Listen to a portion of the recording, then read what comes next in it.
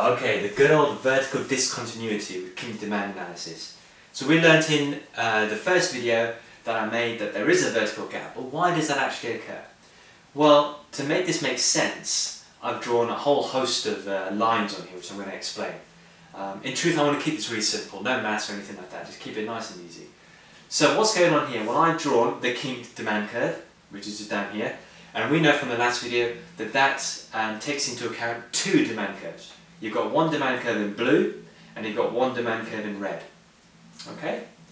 And with those two demand curves, you've also got a corresponding marginal revenue curve which is twice as steep. Right? So I've drawn the marginal revenue curve for number one, so the first part of the demand curve, down here, that's that marginal revenue curve. And for the red part of the demand curve, I've drawn the corresponding marginal revenue curve, which is labelled number two there. Okay? Right, so what's actually going on?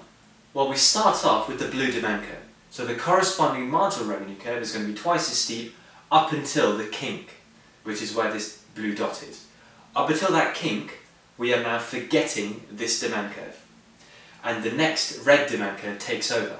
But at this level of quantity Q1, the red marginal revenue curve, which corresponds to the, the red demand curve, actually starts down here there is no connection that takes place within this, within this gap. So where they've drawn the green line, there is no place where the red marginal revenue curve connects with the blue marginal revenue curve. There is a discontinuity there.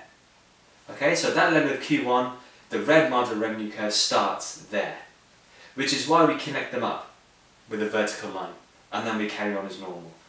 Okay, so that's the basic understanding. No matter how you draw your marginal revenue curves, you will always have a vertical gap.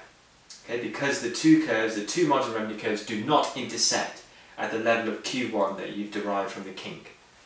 That's the basic understanding of it. If you want to have a go at drawing them, you'll realise. Draw your curves out, draw every single curve fully, and you'll realise there's always going to be a vertical space there. Which is why when we draw marginal cost curves going through it, we always end up back at P1. I hope that makes sense. Keep it nice and simple. See you next time.